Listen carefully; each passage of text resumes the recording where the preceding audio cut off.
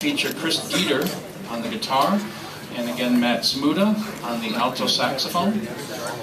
So we hope you enjoy Una Mas.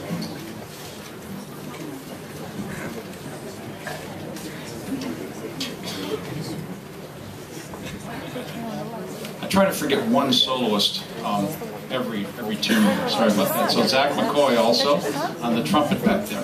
Here we go. Una Mas. Because this